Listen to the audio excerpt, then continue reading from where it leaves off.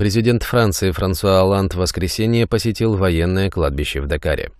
Здесь похоронены 35 солдат-сенегальцев, расстрелянных 70 лет назад французской армией за так называемый мятеж.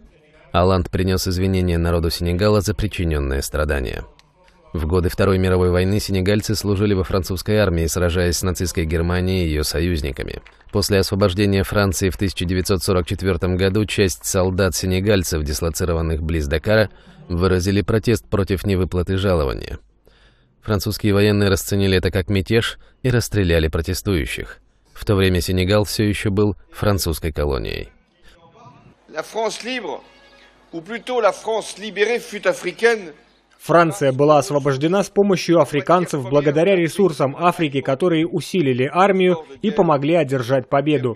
Я хотел бы восстановить справедливость и почтить память тех, кто носил французскую униформу, но против кого Франция обратила свое оружие. Президент Сенегала также почтил память расстрелянных солдат.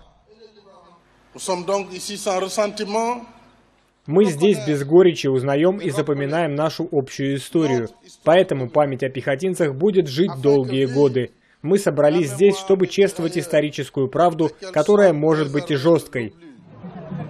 После расстрела солдат-сенегальцев Временное правительство Шарля де Голля постаралось не допустить скандала и выплатило компенсации семьям убитых. Однако официальные извинения Франция принесла только сейчас. Allez,